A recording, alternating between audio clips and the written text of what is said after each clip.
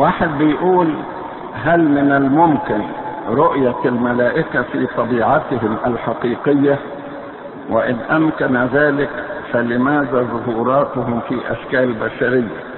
وما هي حقيقة طبيعة الملائكة؟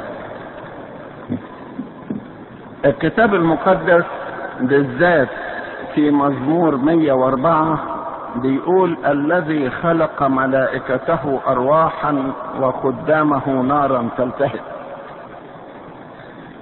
فالملائكة كأرواح لا تستطيع أن تبصرهم إلا الأرواح.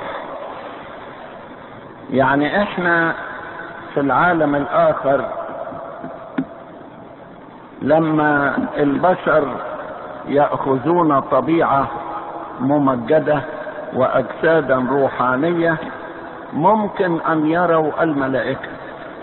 لكن حاليا بالحواس الجسدية لا يمكن أن ترى الملاك في طبيعته الروحانية. لذلك الملاك يأخذ شكلا لكي تراه به. كما إن الظهورات الإلهية أيضا كان ربنا بياخد شكل لكي يراه الناس. لأن الروح الروح تستطيع أن تبصر الروح. إذا كانت في درجتها أو إذا أعطيت الإمكانية لذلك. لكن الجسد